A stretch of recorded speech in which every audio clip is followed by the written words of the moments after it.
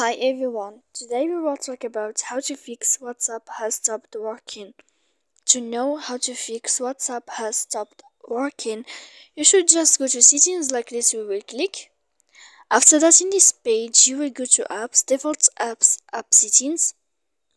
When you will see this list you will go down to find the, the application of WhatsApp.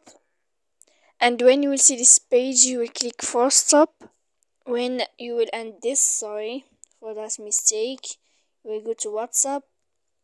Force stop here and you will click storage.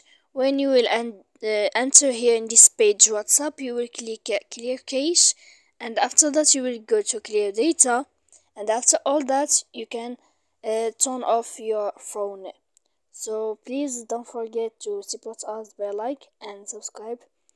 See you next time in another video and thank you for watching